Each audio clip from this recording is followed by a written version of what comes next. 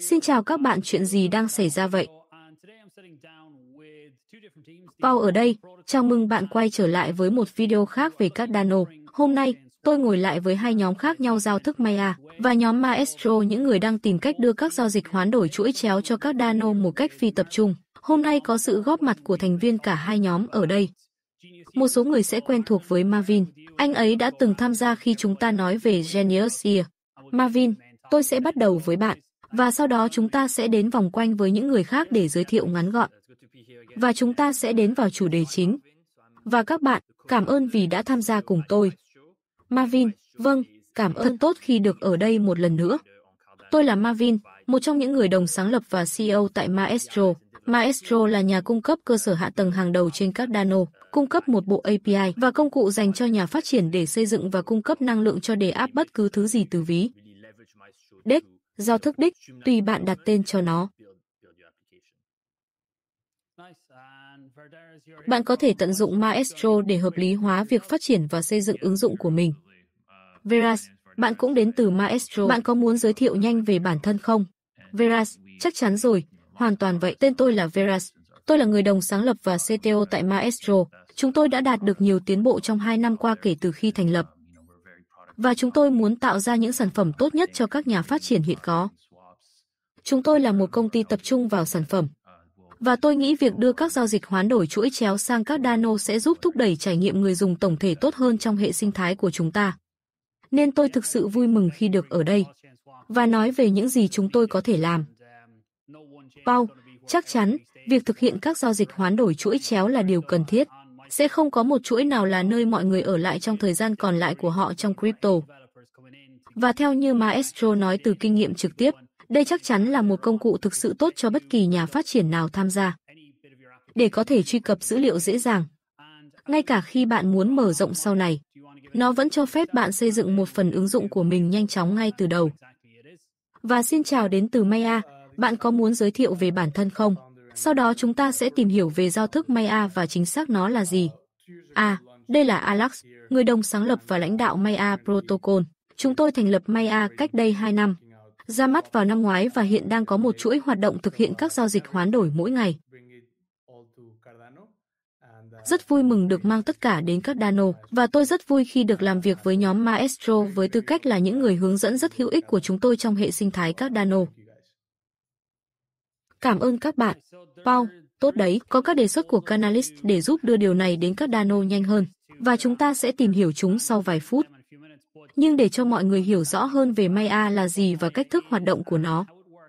Nó khác với cầu nối như thế nào chúng tôi có cầu nối ở các Dano nơi bạn có thể cầu nối bằng USDT, Bitcoin hoặc bất kỳ loại nội dung nào tương tự. Nhưng luôn có rủi ro vì bạn vẫn đang dựa vào tài sản on-chain khác. Vậy Maya là gì?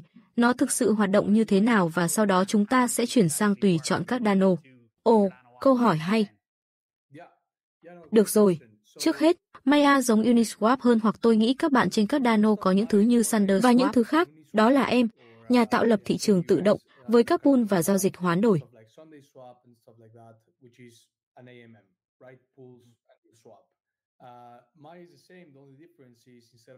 Maya cũng vậy sự khác biệt duy nhất là thay vì có nhóm tài sản trong một chuỗi, chúng ta có nhóm tài sản của các chuỗi khác nhau. Bạn nhấn mạnh ngay từ đầu rằng nó khác với một cầu nối như thế nào. Vấn đề với cầu nối là chiều thời gian tăng lên và rủi ro trong cầu nối sẽ do cộng đồng.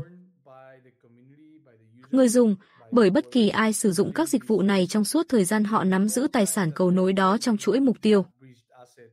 Và nếu bạn đã bọc Bitcoin trên các Dano, thì R Bitcoin đó sẽ nằm trong ví của một số người dùng và luôn nằm trong ví đó. Điều đó sẽ tạo ra rủi ro cho người dùng. Nhân tiện, bây giờ, ở Maya, một nhánh thân thiện của Thorchain, những gì bạn làm là hoán đổi Bitcoin thành ADA trong các Dano. Nếu bạn đang ở các Dano và bạn muốn Bitcoin, bạn sẽ đổi trực tiếp sang Bitcoin bằng địa chỉ Bitcoin. Và bạn sẽ không bao giờ nắm giữ những tài sản này trong thời gian dài. Bạn chỉ đang trao đổi trong tích tắc một cách không đáng tin cậy bằng cách giảm kích thước thời gian này.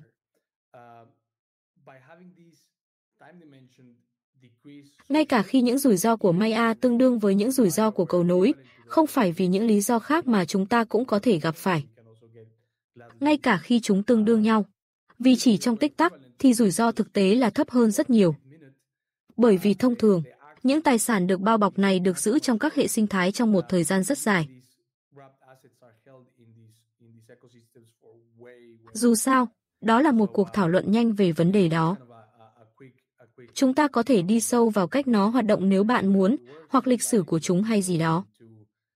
Nhưng cuối cùng nó là một Uniswap chuỗi chéo cho phép hoán đổi đến và đi từ Bitcoin, Ethereum, Kusama. Ngày hôm nay, nó là một Uniswap chuỗi chéo cho phép hoán đổi đến và đi từ Bitcoin, Ethereum, Kusama, Dash. Chúng tôi cũng có Rune từ Thorchain.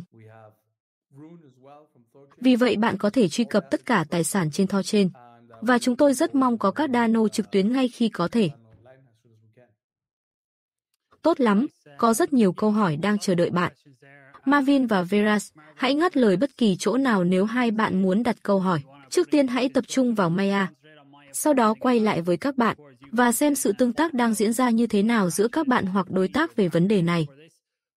Nhưng bạn nói đó là một nhánh của Thorchain. Có sự khác biệt lớn giữa Thorchain và chính bạn hay bạn đang đi theo hướng nào? Và chúng tôi đang mong muốn trở thành một phần mở rộng của Thorchain để đưa công nghệ Thorchain đến nhiều chuỗi hơn. Có một giới hạn thực tế, chẳng hạn như băng thông, đối với những thứ như Thorchain và Maya. Chúng ta không thể có 30 chuỗi mỗi chuỗi. Đó là một số lượng hạn chế các chuỗi có thể tích hợp. Về vấn đề đó, chúng tôi hoạt động giống như một phần mở rộng. Đó là lý do tại sao chúng tôi cũng có riêng rule. Để có thể tổng hợp với nhau bất kỳ tài sản nào từ Maya có thể hoán đổi thành bất kỳ tài sản nào trên Thorchain. Nhưng chúng tôi cũng nhân cơ hội này để thực hiện một số thay đổi. Ví dụ, chúng tôi có một thứ gọi là nốt thanh khoản. Trong đó người xác thực liên kết tài sản thế chấp của họ. Nhưng thay vì liên kết nó bằng cacao, một loại tương đương với run, họ liên kết nó theo đơn vị LP. Nó giống như một công cụ phái sinh stake thanh khoản nghịch đảo, cho phép mang lại hiệu quả sử dụng vốn cao hơn và do đó mang lại lợi nhuận cao hơn. Điều này cho phép chúng tôi làm cho token của mình không bị lạm phát. Chúng tôi đang lên kế hoạch thực hiện nhiều nội dung vốn có hơn cho dự án của mình. Chẳng hạn như đưa các hợp đồng thông minh vào những hợp đồng này và mang đến các khả năng của Thorchain trong tương lai như hoán đổi phát trực tuyến đã thành công đáng kể với khối lượng mà Thorchain đang vận hành.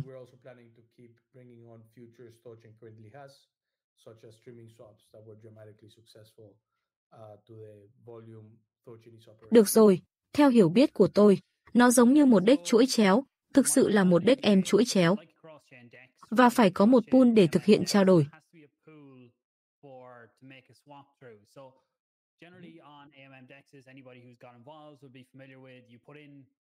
Nói chung, trên MDexer, bất kỳ ai tham gia sẽ quen với việc đưa vào hai tài sản và được khuyến khích bằng phí và farming lợi nhuận. Nhưng với chính các bạn, đâu là động lực để mọi người cung cấp tài sản? Nếu tôi muốn cung cấp ADA, tôi có phải cung cấp hai tài sản vào pool không? Tôi có phải đặt Bitcoin ở một bên và ADA ở bên kia không? Mặt đó hoạt động như thế nào? Bởi vì rõ ràng, bạn cần thanh khoản tốt và sâu để có trải nghiệm giao dịch tốt.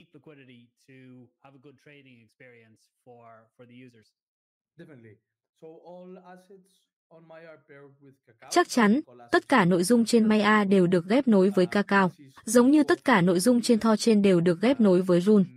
Điều này hữu ích vì một số lý do. Vấn đề chính là bạn cần ít pool hơn. Nếu bạn muốn đi từ A đến Bitcoin, bạn chỉ cần có một pool cacao rất sâu và một pool Bitcoin rất sâu. Ví dụ, hiện tại, chúng tôi có khoảng 40 triệu đô la TVL, và thông thường, bạn sẽ thêm cả hai tài sản và bất kỳ giao dịch hoán đổi nào đi từ hoặc đến A sẽ được chuyển đến pool A cao đó và trả phí. Những khoản phí này được chia sẻ với LPS. Ngoài ra, bạn có thể liên kết các đơn vị LP đó với trình xác thực. Giống như bạn ủy quyền ADA cho một nốt trên các Dano và nhận thêm lợi nhuận.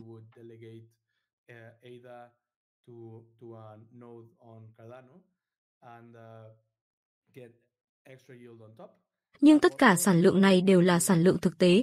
Nó đến từ sự hoán đổi. Nó không được khuyến khích hoặc trợ cấp bởi bất kỳ loại hệ thống lạm phát nào. Giờ đây, cũng có một tính năng trong tương lai sắp ra mắt trực tuyến có tên là trình tiết kiệm. Cho phép bạn chỉ tiếp cận một tài sản với ADA.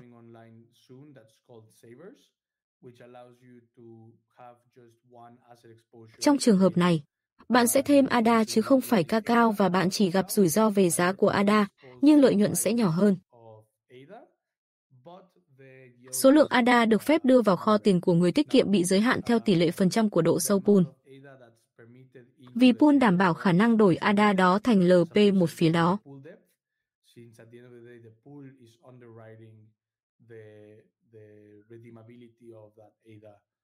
Tôi nghĩ đôi khi mọi người ngại tham gia và cung cấp thanh khoản trên MDEXer vì nguy cơ thua lỗ tạm thời. Nói chung, nếu bạn có thể ứng dụng farming năng suất hoặc tăng thêm sản lượng, thì đó là điều sẽ bù đắp cho rủi ro mà mọi người đang gặp phải. Và nếu có lựa chọn một chiều, tôi nghĩ đó chắc chắn là một vở kịch hay. Và với đề xuất rằng các bạn phải mang cái này đến các Dano, nó hoạt động như thế nào hoặc mối quan hệ hợp tác giữa hai đội ở đây đến đâu. Tiếp tục đi, Marvin. Về cơ bản, quá trình thêm một chuỗi mới là mỗi nhà khai thác nốt chạy một nốt đầy đủ của chuỗi đó.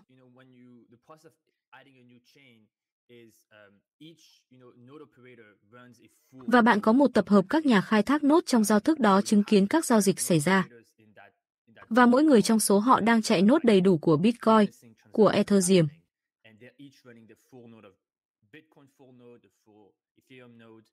Chúng tôi sẽ hỗ trợ tích hợp nốt các Dano đầy đủ. Là nhà cung cấp cơ sở hạ tầng, chúng tôi có nhiều kinh nghiệm chạy các nốt các Dano. Sau đó, cần có những nâng cấp bổ sung về khả năng tương thích. Và một số loại mật mã nguyên thủy nhất định mà các Dano đang sử dụng, tôi không thể nhớ tên. Nhưng hơi khác so với phần còn lại. Vì vậy đó là nơi đề xuất Catalyst đầu tiên dành cho nâng cấp giao thức để làm cho nó tương thích với các nguyên thủy của các Dano. Đề xuất thứ hai xoay quanh việc thử nghiệm chiến đấu mọi thứ, giúp chạy và đốt cụm mới đó, thêm nốt các Dano. Điều tốt là nốt các Dano không quá nặng về mặt tính toán so với các chuỗi khác. Điều này giúp các trình xác thực khác tự chạy. Bởi vì mỗi khi họ thêm một chuỗi mới, họ sẽ tăng chi phí, chi phí hoạt động của họ, và do đó được cân bằng bởi khối lượng mới và các khoản phí mới mà họ có thể thu bằng cách kết nối với một nốt mới.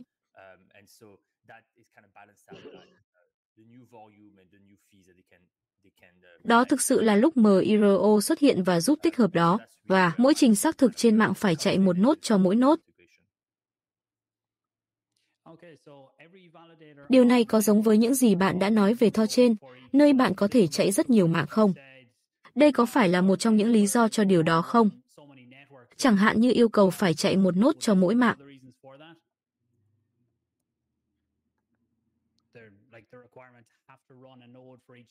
Ngoài ra còn có quá trình ký kết. Tôi nghĩ nó dựa trên nhiều chữ ký TSS. Nó phức tạp hơn, nó không phải là một chữ ký đa chữ ký.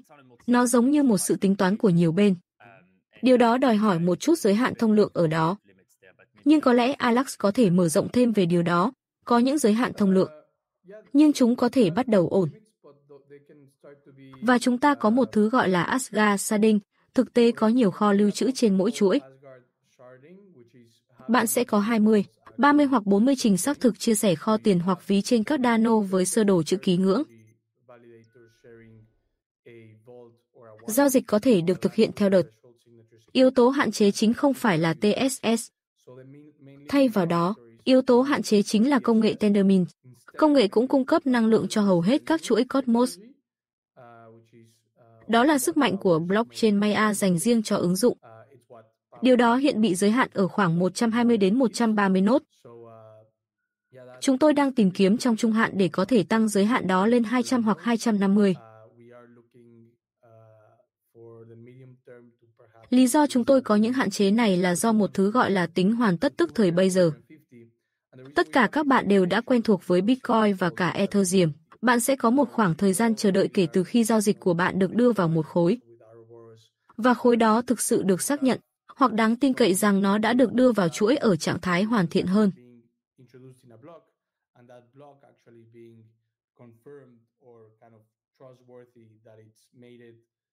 Điều này thật tuyệt vời cho những gì các Dano và Bitcoin đang cố gắng hướng tới, đó là một loại tiền.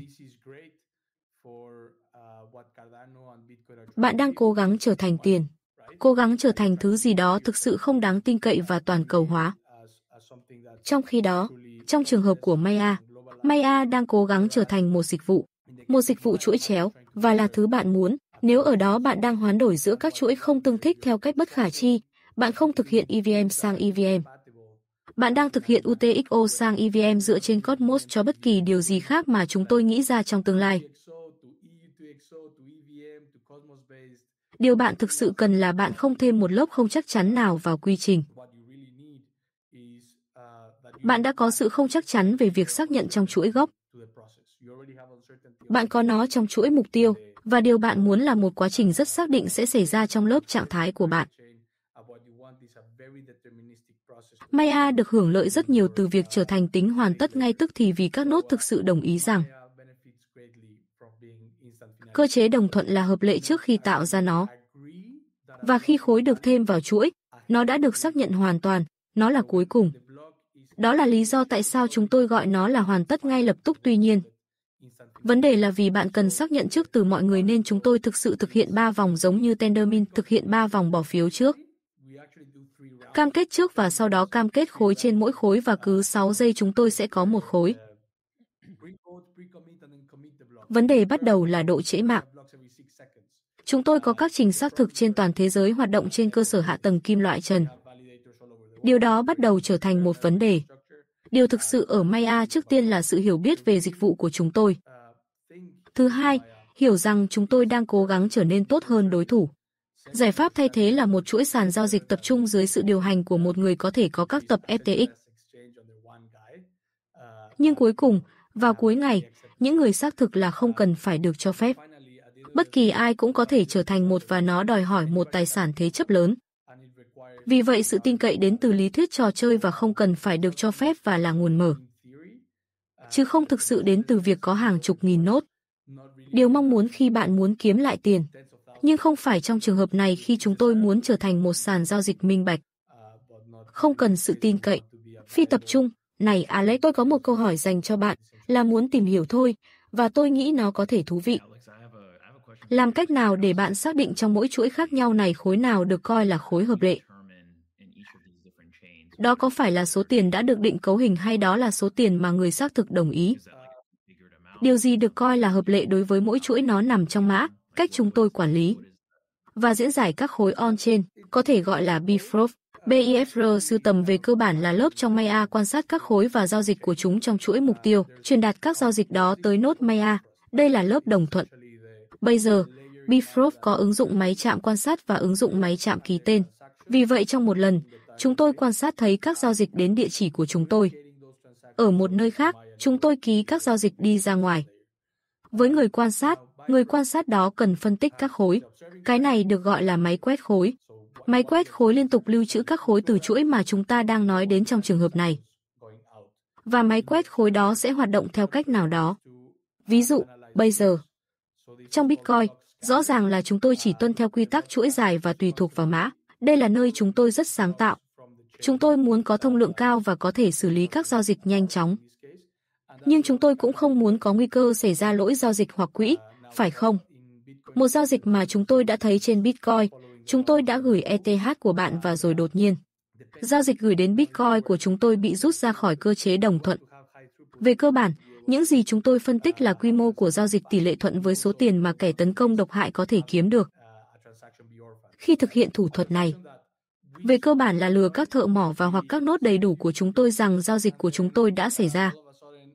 Và sau đó thực sự không xảy ra. Và về cơ bản những gì chúng tôi làm là giao dịch càng lớn thì thời gian chờ đợi trong các khối Bitcoin mà chúng tôi sẽ chờ. Để xử lý giao dịch càng lâu.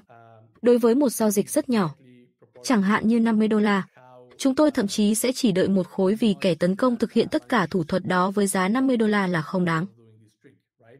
Thực ra, họ sẽ bị thua lỗ khi làm điều đó, cũng vì phí và mọi thứ khác.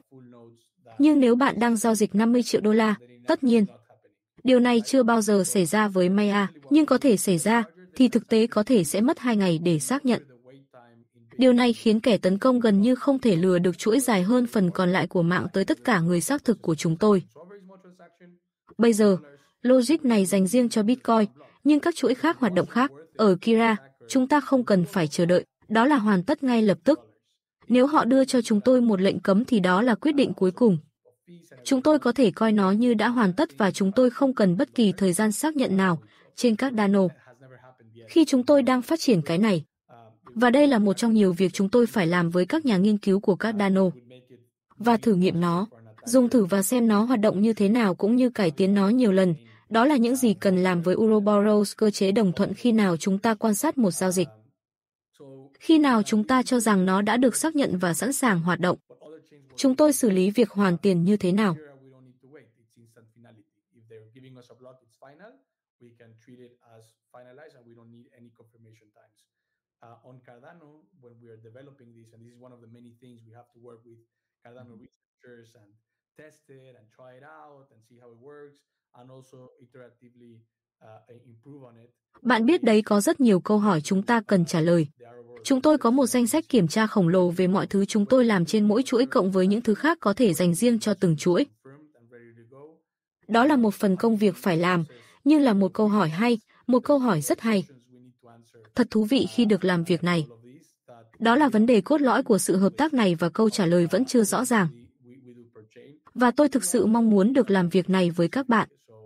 Và cuối cùng, chúng ta cũng có thể bắt đầu thận trọng hơn một chút, chỉ 500 USD cho độ trễ gửi đi.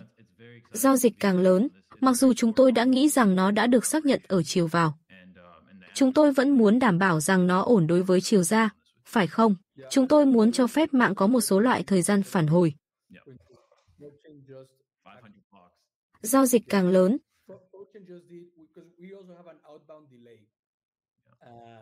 the larger the transaction is, even though we already think it's confirmed in the inbound, we still want to make sure it's okay for the outbound, right? We want to allow the network to have some đây được gọi là độ trễ gửi đi và là điều mà Thorchain đã triển khai sau vụ hack năm 2021, cùng với nhiều biện pháp bảo mật khác.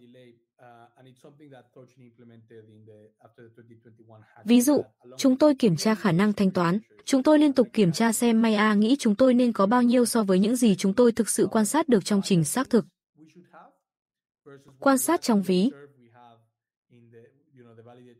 Nếu có sự khác biệt, chúng tôi sẽ tạm dừng dịch vụ các Dano trên mạng để xem điều gì đang xảy ra, có thể khắc phục nó.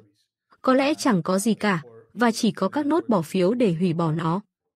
Tôi đề cập đến điều này, bởi vì Thorchain vừa giới thiệu một bản cập nhật mới cách đây hai ngày có tên là Swapper Cloud. Trong đó có rất nhiều người thường xuyên sử dụng. Họ là những người kinh doanh trên lệch giá, họ là những người dùng nhiều và họ phải trả phí. Vì vậy, những khoản phí này là thiết yếu để được sử dụng. Những gì họ đã trả trong lịch sử giống như logic của Thor trên. hãy nhìn xem, họ đã trả khoản này rồi. Nếu họ ăn trộm thứ này, chúng ta sẽ phá sản và trong bất kỳ giao dịch nào dưới số tiền này. Tôi sẽ vô hiệu hoàn toàn bất kỳ sự chậm trễ gửi đi nào, tôi sẽ thanh toán vào dây đó. Vì trường hợp xấu nhất, chuỗi đã hòa vốn đối với người dùng này và không phải tất cả người dùng đều có ác ý. Về cơ bản, điều này đã giảm thời gian chờ đợi để thực hiện việc gửi đi. Một lần nữa, Thorchain tỏ ra rất thận trọng và giờ họ đang thư giãn. Tương tự như vậy. Trên các Dano, Chúng tôi có thể nói, chúng tôi sẽ phải đợi rất nhiều thời gian trước khi nói rằng điều này đã được xác nhận.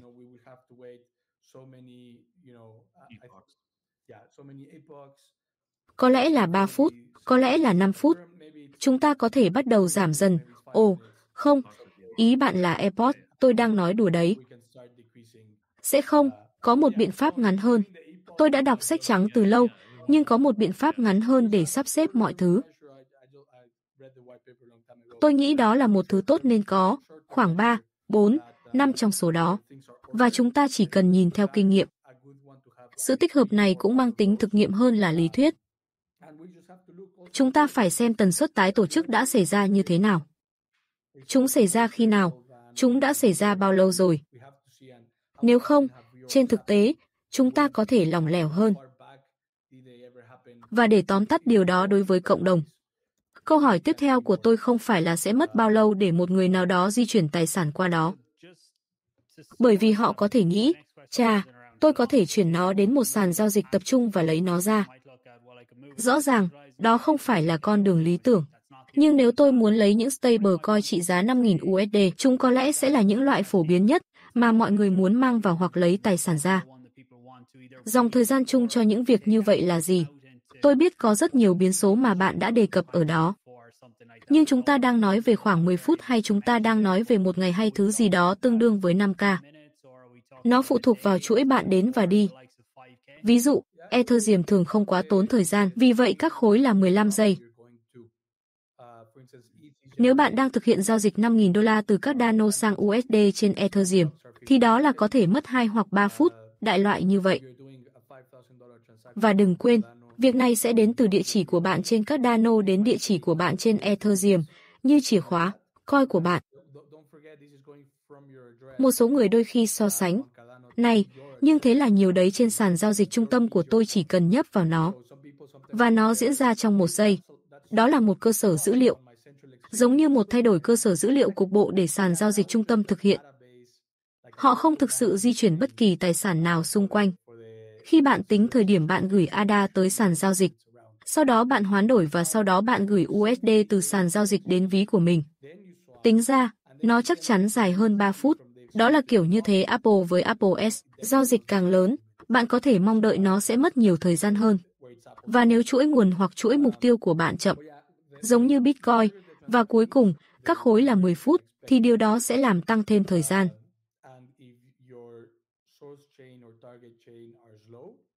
Nhưng nếu ngay bây giờ bạn đang thực hiện crew tới Dash, hai chuỗi nhanh nhất mà chúng tôi có, thì chỉ mất chưa đầy một phút. Nếu đó là một giao dịch nhỏ thì được.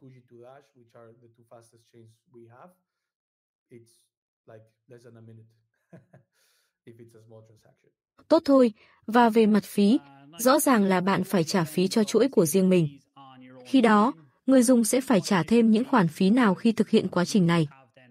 Bạn tự trả phí ga on trên nguồn. Và nếu bạn gửi 100 ADA và ga là 0,1 ADA, thì bạn đã gửi 100,1 và Maya chỉ nhận được 100. Số tiền đó giống như do chính bạn bỏ ra. Chúng tôi sẽ làm như vậy sau đó tính toán hoán đổi. Giả sử bạn đã đến Crew hoặc giả sử là Bitcoin.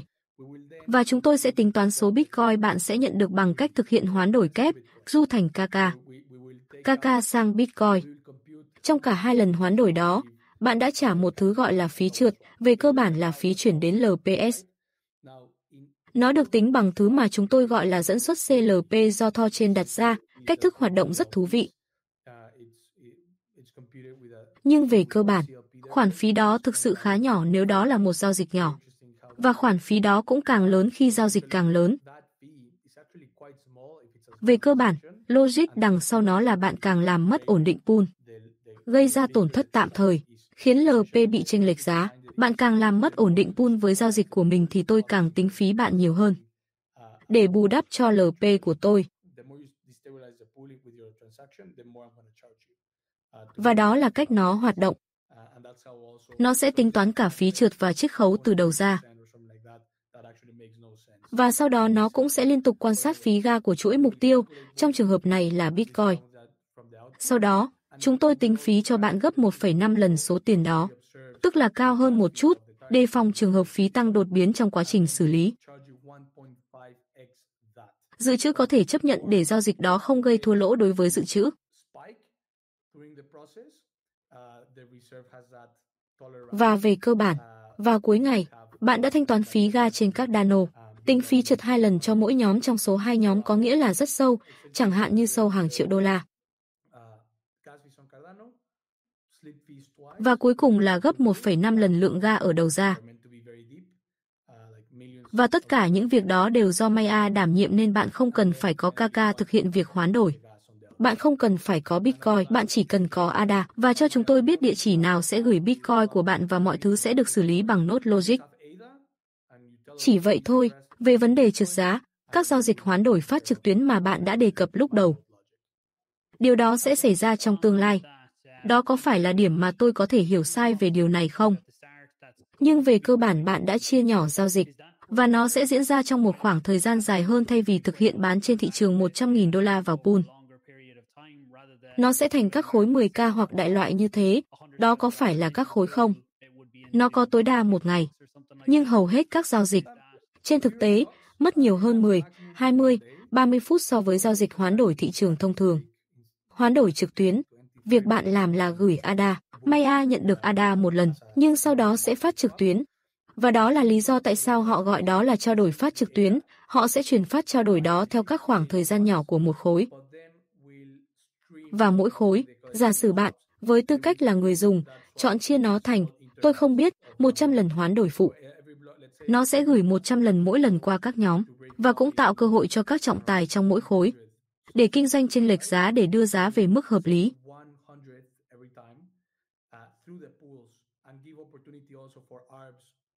Và sau đó nó sẽ làm điều đó 100 lần. Và một khi nó đã tích lũy được toàn bộ Bitcoin, nó sẽ gửi Bitcoin trong một giao dịch. Và bạn cũng chỉ phải trả phí một lần trong cả hai chuỗi. Nhưng hiện tại, độ trượt giá đã giảm đáng kể và trên thực tế. Đây thực sự là khối lượng giao dịch hàng ngày gấp 20 lần của chuỗi. Cho đến nay, họ đã có những giao dịch khổng lồ. Tôi nghĩ giao dịch lớn nhất hiện nay là khoảng 10 triệu đô la trong một lần hoán đổi. Và còn có, do bản chất của tính hoàn tất tức thời và cách hoạt động của phí trượt cũng như cách các giao dịch được yêu cầu bởi người trả nhiều phí nhất với mức phí ít hơn. Nên không có cuộc tấn công bánh sandwich, tôi thấy không có những thứ như vậy. Và, vấn đề là, các giao dịch hoán đổi hoàn toàn công khai, bạn có thể theo dõi chúng trong trình theo dõi giao dịch của Nerium. Xem tất cả các giao dịch đó đang được phát trực tuyến. Và ở đó, bất kỳ ai, tất cả người chơi đều được khuyến khích biến giao dịch đó thành phương thức thanh toán tốt nhất có thể vì các nhà kinh doanh chênh lệch giá sẽ kiếm được. LP sẽ kiếm tiền, các nốt sẽ kiếm tiền và không có thể cho bất kỳ ai sắp xếp lại hoặc làm những việc tương tự. Và cho đến nay, trên thực tế, đó là một tương lai tuyệt vời và chúng tôi mong muốn có nó trên Maya trong vài tuần tới. Ồ tuyệt vời! Và mốc thời gian, nếu các đề xuất được đưa vào cuộc bỏ phiếu Catalyst, vào thời điểm tôi đưa ra điều này. Tôi không chắc cuộc bỏ phiếu sẽ bắt đầu hay sẽ bắt đầu vào ngày hôm sau hoặc lâu hơn. Nhưng chúng tôi nên xem xét loại dòng thời gian để thực hiện các giao dịch hoán đổi trực tiếp cho các Dano không. Hãy tiếp tục. Marvin, nói một chút về chi tiết đề xuất Catalyst và sau đó tôi có thể đưa ra hai xu của mình ở đó. Và chúng tôi có hai đề xuất và chúng tôi muốn chia nó thành nhiều phần có thể dễ hiểu hơn. Và đề xuất đầu tiên, tôi không nhớ, tôi nghĩ sẽ mất vài tháng. Có thể là 4 đến 5 tháng để nâng cấp giao thức. Và nhân tiện, mọi thứ đều là nguồn mở. Nó sẽ cho phép mọi người chạy các nốt các Cardano đó trên giao thức Maya.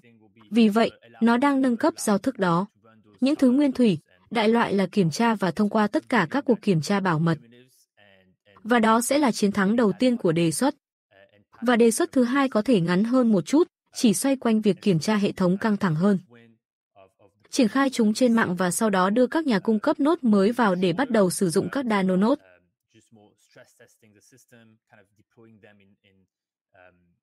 Và sau đó cũng là cái mà chúng tôi gọi là khởi động bình đẳng. Đó là kiểu gieo hát cho các nhóm một số ADA và KK ban đầu để hỗ trợ các giao dịch hoán đổi ban đầu.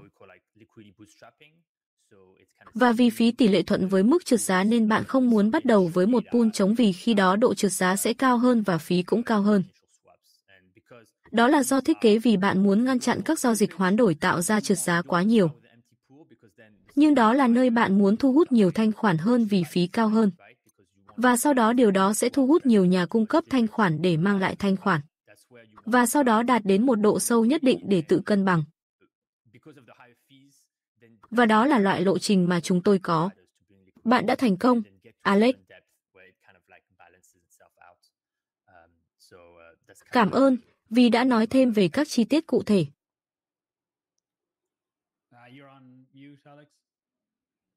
và Calo sử dụng đường cong Edward để ký. ESA, Thorgemia ngày nay chỉ sử dụng ESA cho sơ đồ chữ ký giao dịch, và bước đầu tiên thực sự là hoàn thành công việc đó đối với chữ ký ESA. Rất may, Thor trên hiện cũng đang làm việc trên Solana, sử dụng chữ ký tương tự đó. Và chúng tôi sẽ có cơ hội cộng tác trong công việc đó với cả hai nhóm. Và điều đó sẽ khiến mọi việc diễn ra nhanh hơn. Sau đó, Chúng tôi tiến hành tích hợp và thường mất 2 tuần hoặc tương tự. Điều này nghe có vẻ không nhiều. Nhưng sau đó mới đến vấn đề thực sự, đó là thử nghiệm. Và trước tiên chúng tôi thực hiện một việc gọi là thử nghiệm mainnet, nơi chúng tôi mô phỏng mọi thứ xảy ra ở các Dano, Maya và đảm bảo mọi thứ hoạt động. Sau đó thứ gọi là smoke test, mô phỏng hàng trăm lần hoán đổi các Dano trên Maya và đảm bảo rằng mọi chi tiết đều kín đáo. Và điều đó được bảo toàn cao thông qua các bản cập nhật phiên bản trong tương lai. Sau đó, chúng tôi thực hiện một thứ gọi là thử nghiệm giai đoạn. Tức là, trong trường hợp này, chúng tôi có một chuỗi Maya thực sự giống như mạng chính vì nó hoạt động với các Dano thật, Bitcoin thật, Ethereum thật, Kajira thật, nhưng chúng tôi đồng ý rằng đó không phải là mạng thật và nó không có bất kỳ pool thanh khoản nghiêm trọng nào. Chúng rất, rất nông, nhưng đó là hàng thật nên chúng tôi thực hiện một số thử nghiệm ở đó. Và khi mọi thứ đã được thắt chặt, chúng tôi cũng cần thực hiện công việc kiểm tra để đảm bảo rằng chúng tôi không đưa ra bất kỳ giả định nào, rằng không có bất kỳ trường hợp nguy hiểm nào mà chúng tôi không tính đến. Và sau đó, như Marvin nói, là khởi động thanh khoản, à, thực ra là khởi chạy đầu tiên tới các nốt, yêu cầu chúng khởi động để tạo kho tiền, sau đó khởi động tính thanh khoản và sau đó bật giao dịch hoán đổi.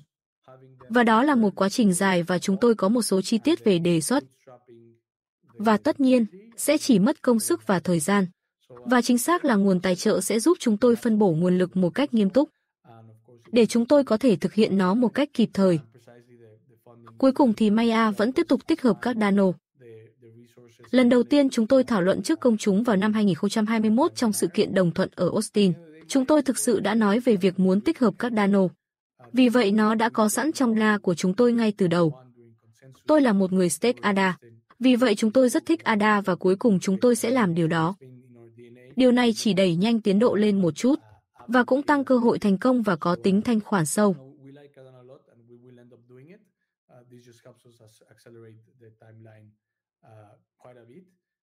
Bởi vì hệ sinh thái K sẽ có mặt trong trò chơi, điều mà tôi nghĩ cũng quan trọng. Được rồi, tôi ủng hộ việc chúng ta đạt được nó càng nhanh thì càng tốt cho hệ sinh thái tổng thể. Tôi nghĩ stablecoin là thứ chúng tôi có ở các Dano, nhưng chúng tôi cũng đang thiếu, mang lại nhiều thanh khoản hơn thông qua đó và tôi thích giải pháp thay thế cầu nối này. Những cầu nối thì tốt, nhưng cá nhân tôi không thực sự có bất kỳ khoản tiền nào trong một cầu nối. Nếu tôi tạo tài sản cầu nối, tôi sẽ đưa chúng ra khỏi tài sản cầu nối khá nhanh và đưa chúng vào một tài sản khác on trên mà tôi sắp tới. Đó là một vấn đề an toàn mà tôi không thấy thoải mái khi nắm giữ số tiền lớn hơn trong thời gian dài. Nhưng bất cứ điều gì chúng tôi chưa đề cập ở đây. Tôi sẽ đặt các liên kết đến các đề xuất bên dưới cho bất kỳ ai muốn xem chúng. Cuộc bỏ phiếu Catalyst sẽ được mở ngay bây giờ, hoặc mở trong một hoặc hai ngày tới đối với bất kỳ ai muốn xem nội dung này. Hãy chắc chắn rằng bạn tham gia, xem xét tất cả các đề xuất, không chỉ những đề xuất mà chúng ta đang nói đến ở đây.